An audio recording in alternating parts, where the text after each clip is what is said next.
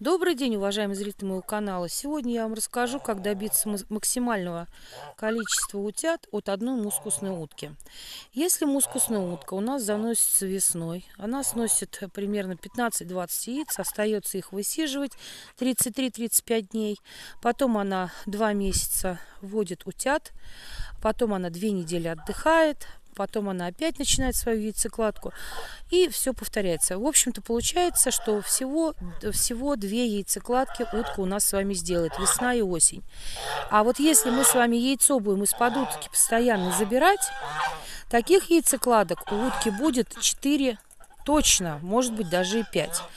То есть утка сносит яички, мы их забираем домой – она делает свою яйцекладку первую 15-20 яиц, потом две недели отдыхает, опять начинает, и опять, и опять, и опять. То есть вот до четырех раз, даже до пяти. То есть утки второго года могут и пять яйцекладок сделать. Э, соответственно, яйцо вы забираете домой в инкубатор, утят вы выращиваете сами. Э, это, конечно, дополнительный хлопот. Смотрите, голубой фаворит, какая странная. Всеми командует, от поилки отгоняет, гусей гоняет, такая деловая. Вот она, вот. Что она там сейчас доказывает, непонятно.